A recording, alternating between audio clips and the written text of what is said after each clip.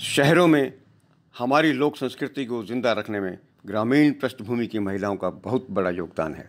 वे तीज त्योहारों के अवसर पर सार्वजनिक पार्कों में इकट्ठे होकर नाचती हैं, गाती हैं।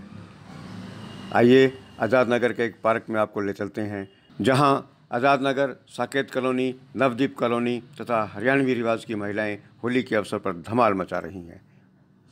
मेरी कोशिश है ऐसे अवसरों को अपने कैमरे में कैद कर आप तक पहुंचाऊं।